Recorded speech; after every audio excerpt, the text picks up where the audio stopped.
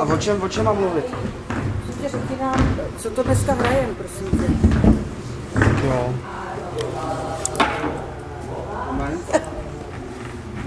To byla asi nějaká prča.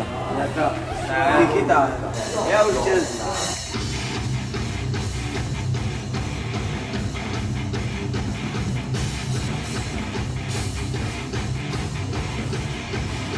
Chci si to užít pořádně, protože tohle operu mám obzvlášť rád. Nemusím to číst znot, pamatuju si to v hlavě. Kapela namakaná, takže se fakt těšíme, bude to pěkný. Doufám, že i obecenstvu se to bude líbit. Tak ahoj. Ještě jsme šťastní, že s tím člověkem můžeme hrát, protože to je takový basák. To jsou groovy, to se hraje jedna radost. dva, tři, čtyři, To pět, je šest, sedm, takový osm. kytarák. Jsem To to se ty groovy já! hrajou. Jedna.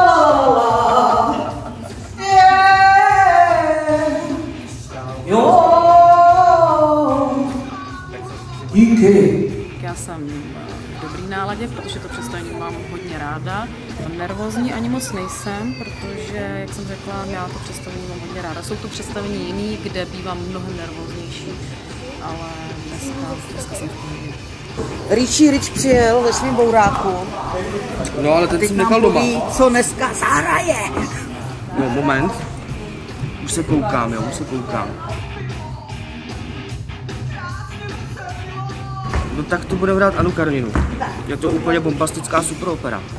A moc se na dnešek všichni těšíme. Tak koukejte furt chodit, furt chodit, protože to je strašně důležitý. Já hraju Vronskýho, Sašu Vronskýho.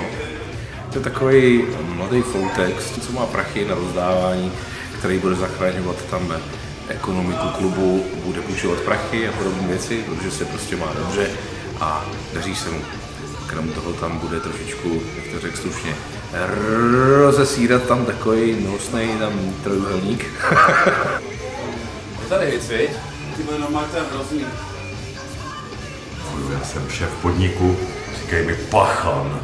Všechno tady mám na povel, všichni mi platí výpalné, všichni mi platí eh, prostě z toho svého obratu, takový ten mafiánský krejcar.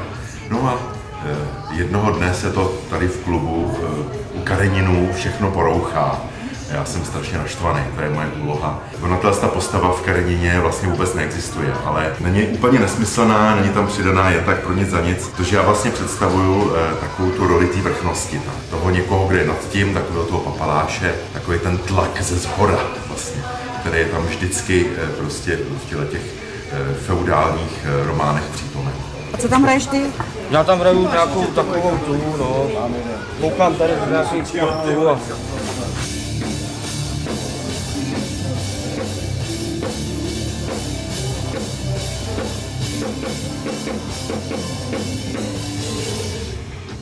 No, nabírám to, natáčím to, stáčím to, smíchám to, spálím to, chutná to. Paprťála, Prostě to- paprťála. Jsi takzvaný hudební producent, ne? Snažíme se o to. Tak čau, já jsem Holly, za chvilku máme představení Anna Karenina, který je pro mě uh, strašně zásadní, neboť to bylo úplně první představení, který jsem tady v Pražský roku opeře hrál. Akorát jsem si teďka vyměnil struny, aby to bylo všechno úplně v pohodě. A hrozně se těším, protože Anu Kareninu jsme hráli naposled před zhruba půl rokem a jak už jsem říkal, mám k ní takový srdcový vztah.